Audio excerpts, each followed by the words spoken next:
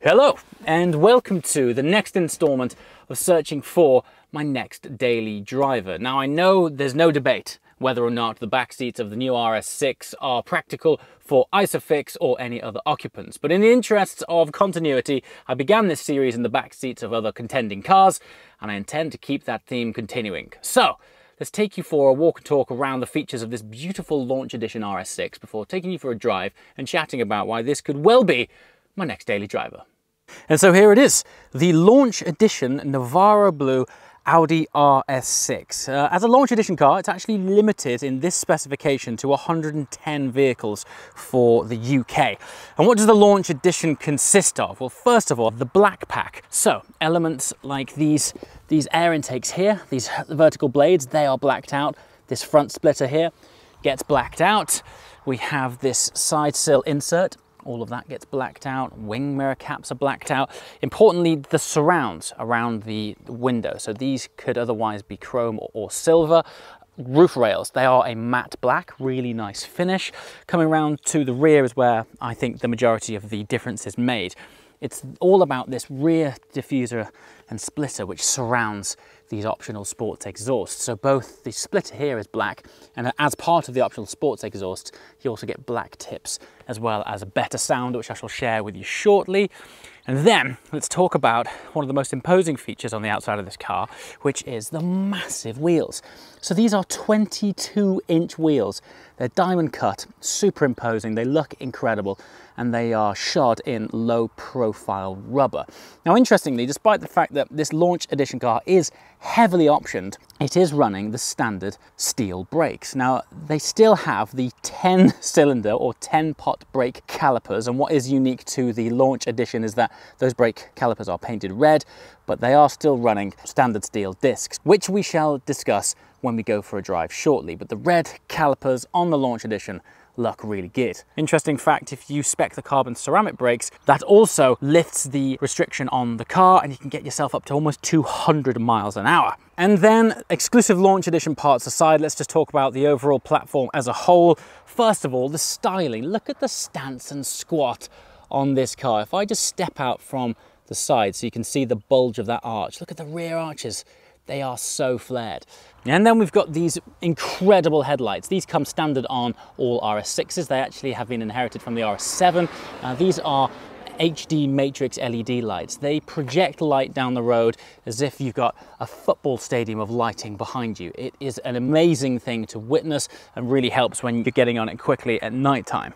Then of course you've got the new design language from the front grille, which is incredibly imposing. Nothing quite says, get out of my way, please, as an RS6 behind you. They've got such road presence. And then of course, one of the whole reasons that you would be interested in this car really is the practicality and therefore the size of the massive boot. It is huge. You can also drop the seats obviously to fit more in. I quite like the fact that you can drop the seats using these pull handles here so you don't have to go on the inside to latch them down.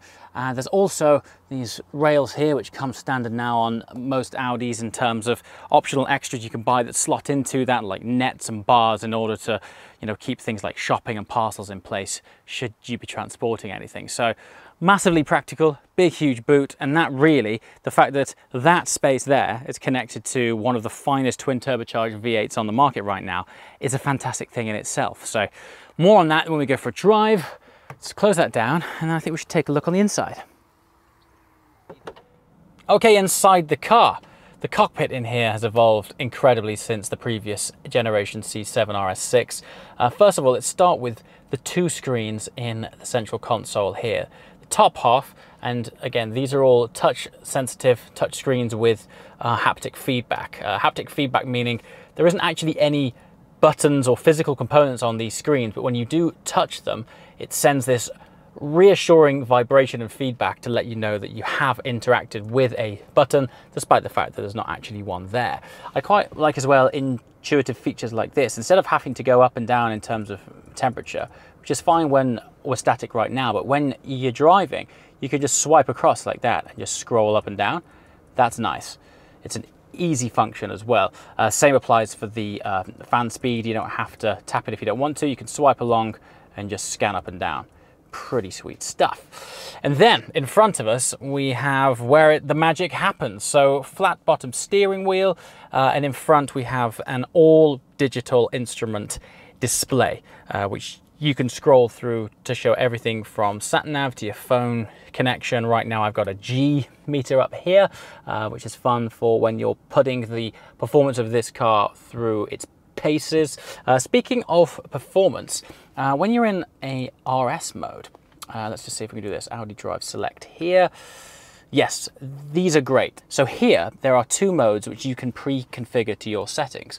So in RS1, what I've done is set up everything else to be dynamic. So drive system, dynamic, suspension, comfortable, and everything else should be on dynamic, pronounced, or sport. So effectively, I've got everything on there which can be on sort of high alert in that mode, except for the ride quality, which I want in soft, because the British B roads, which I spend the most of my time on, aren't that great, but I still want that faster throttle response, gear shift, handling, etc. So that's nice. Now, once you've saved that, you don't have to go in to this menu in order to activate it. That RS1 and RS2 buttons get saved to this RS mode button on your steering wheel here. So you press once for RS1, and as you can see the, the screen there changes, second for RS2, and then third time and it will go back to normal. And it's just a great way of jumping quickly to the settings that you want, uh, depending on your personal driving preference.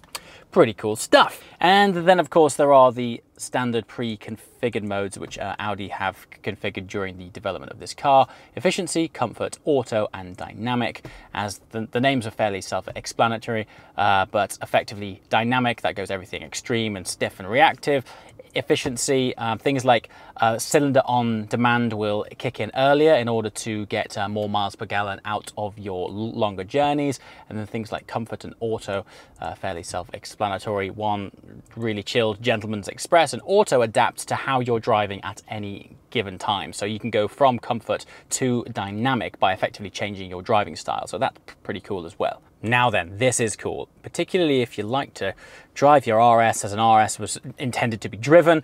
Um, this is a temperature and condition indicator of the uh, important attributes and elements of your car. What I particularly like is that it will give you the specific brake disc temperature. So when you aren't driving it, there's these different brackets here, everything from unavailable, which is effectively when the car hasn't yet read the condition of an individual component, all the way through it from cold, warm, hot, and overheated, warm being the optimum temperature. So as you can see, I've just driven here. So the radiator and drivetrain are warm, engine's cold.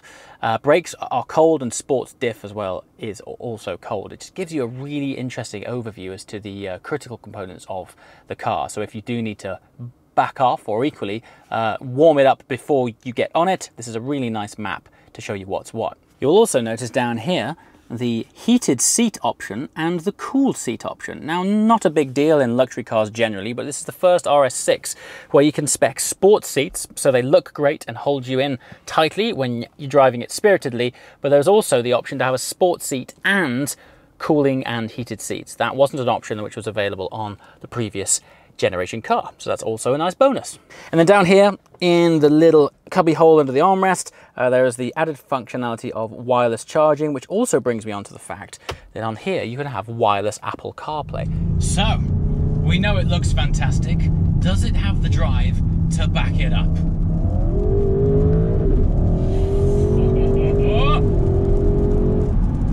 I mean, the way this thing gathers momentum is absurd.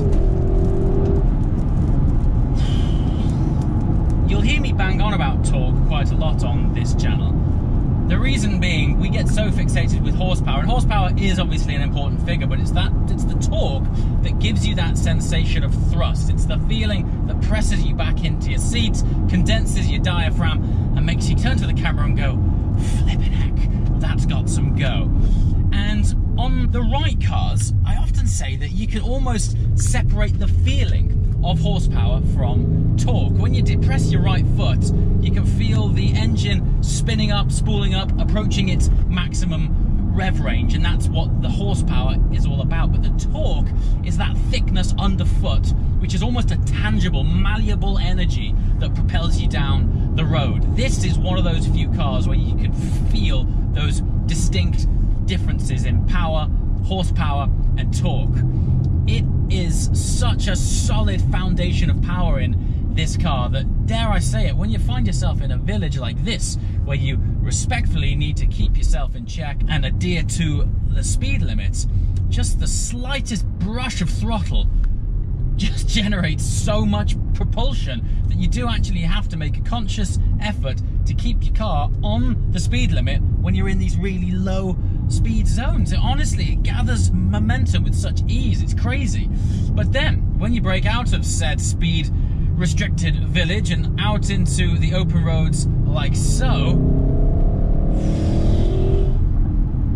honestly, the way this pulls is mind blowing. Now, on paper, and this is why it's important to talk about the torque, is that this actually has the same amount of horsepower as the outgoing C7 generation RS6, which had 600 horsepower. This has exactly the same as that. However, it has 100 newton meters of torque more. Not only that, it is available throughout the whole rev range. So in the previous gen, uh, it seemed to be more mid to top, whereas in this, it it almost feels hybrid assist. It isn't hybrid assist, but the lag is so minimal and the availability of that power is spread across pretty much every single point of the band that it is on tap all of the time. So there's the engine ticked off. Uh, phenomenal power. Now then, what is that powered through?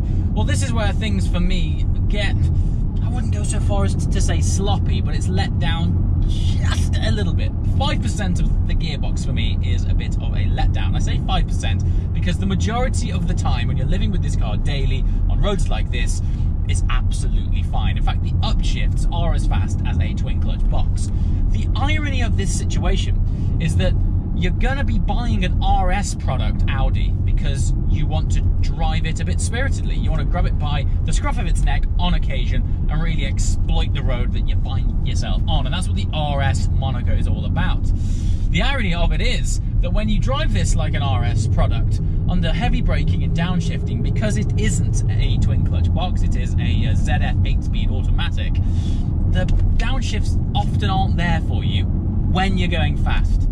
Now, the majority of the time, we're going to live with these things as daily drivers, it's completely fine. But isn't it funny that, that you're getting the RS to go fast, and when you're driving it like a fast car, the gearbox sort of falls short?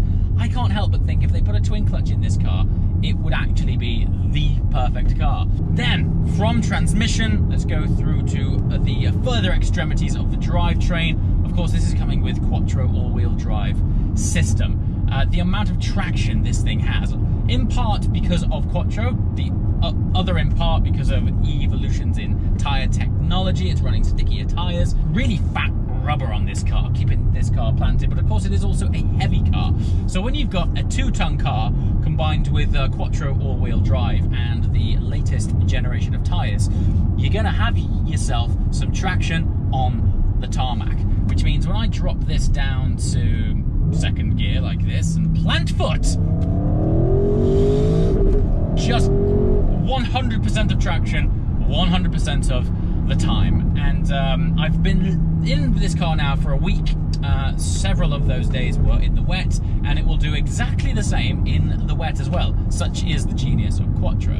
Now, in the UK, we're fortunate that um, as standard, if you were to buy an RS6, uh, for some reason, it comes as standard with rear wheel steer and the RS specific diff, which sends the majority of the power to the rear wheels. It just allows the car to turn in a bit more. When you direct power towards the back and you have rear wheel steering, uh, the agility, the, the combination of agility in this car is astounding. It shouldn't be as agile as this platform is. It's big, it's heavy, and yet it handles like a RS3 almost. It, it, feels that compact. It's probably the most aggressive application of rear wheel steering that I've seen. And on top of that, the car is running a 48 volt architecture, meaning the anti-roll system is able to develop more torque than the engine does to keep the chassis level. Now steering, this has the dynamic adaptive steering on it. For me, it's a bit too light Um, at the best of times, it does lack a spot of connection with the road anyway. Uh, it just feels a little bit synthetic. I actually think that the car would benefit from having a consistent weightier steering feel. Once again, this car is so many things to so many people, and if you're spending time actually going slower in this car and you live in a town, it is quite nice to have that lighter steering rack at times. But again, the irony of it is you're buying the RS because you want the fast one, and the fast ones need steering to lean on so you know what the nose is doing. Now, brakes. We are, as mentioned at the beginning in the launch edition car, uh, but still, this car was not specced with the optional carbon ceramic brakes. Granted, I think that option is around about £8,000. However, the amount of weight that it sheds off this already substantially heavy car is dramatic, around about 30 kilograms. Think about that, shaving 30 kilograms from the brakes alone. Now, this car is uh, still fitted with the 10 piston calipers that's ridiculous. But it is pincing against steel brakes. Now, as I mentioned a minute ago, I've been living with this car for a week.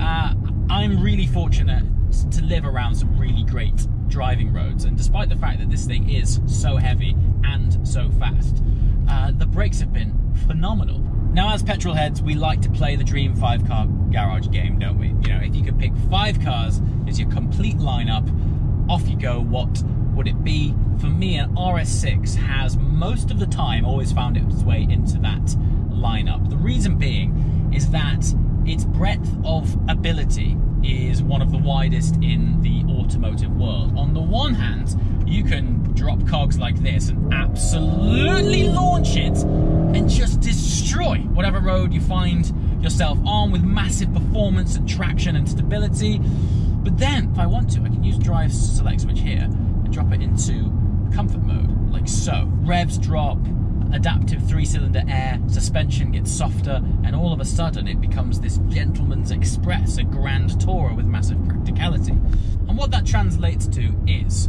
granddad in the front, Isofix in the back with son in one seat, mother next to son next to mother-in-law with dog in the boot. Father comes up alongside Ferrari, decides you're not having that today, mate, Hold on, fam. We're going to school this child.